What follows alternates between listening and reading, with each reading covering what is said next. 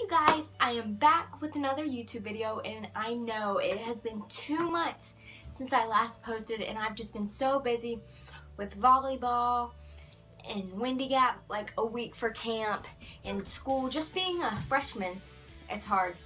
So today I decided to do another favorites video. So let's get started. My first favorite thing is it's a pearl headband and it's really easy to go on. You can either like put it in like your hair if you're like feeling messy, like a messy ponytail or messy bun, or you can take it down.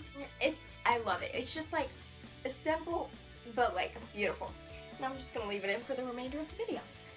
Next I have is perfume.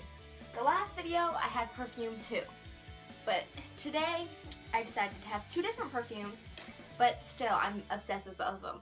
First, we have Victoria's Secret Pink Total Flirt.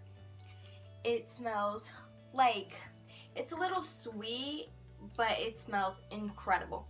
And then this is also my summer like spray.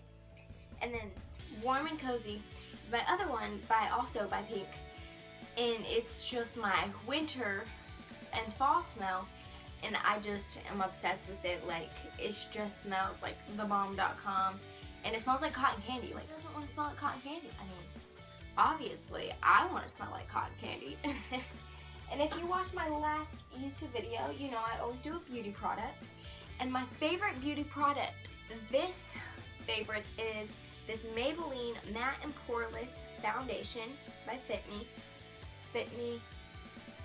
Um, I got it from Ulta and I've been recently obsessed. In the past, I've been struggling with like foundation that doesn't stay on my face all day and it comes off like after first period gym. But I found, I got this one recently and it has stayed on, which is amazing for me. But I just love it. It's like great. And the last thing, I have this Charlotte Russe sweater that I got. I have been obsessed with it because you can either dress it up or dress it down. So you're going to the movies and you just want to wear leggings. Then you can pair it with leggings or you can wear that to church with a pair of jeans or something like that. So yeah, I decided to do it for my YouTube channel today. I hope you enjoyed it and I am so sorry that I have not posted in a while.